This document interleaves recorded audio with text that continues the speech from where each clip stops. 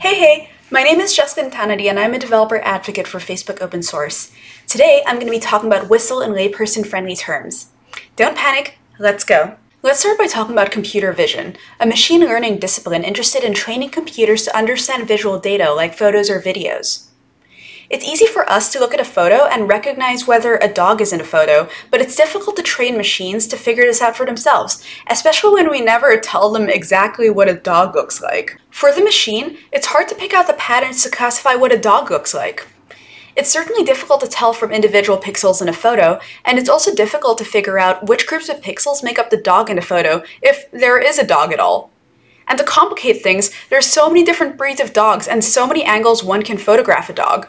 So in comes VISSL, a general-purpose computer vision library for state-of-the-art self-supervised learning research with PyTorch.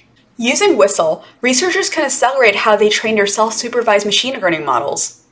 This is because VISSL comes with implementations of the best self-supervised models out there, over 60 pre-trained model weights, and a collection of benchmark tasks so that researchers could compare models. On top of that, VISSL was built so that it's easy to use, easy to design new tasks, and scalable. Course, it's all open source, so anyone can experiment with self-supervised machine learning with images. The best way to get started is by going on their website, which has tech documentation and instructions for how to get started, train data, perform feature extraction, benchmark, and do large-scale training.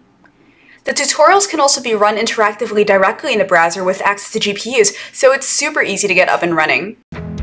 If you'd like to see more about VISSL on this channel, give this video a thumbs up. Thanks for watching!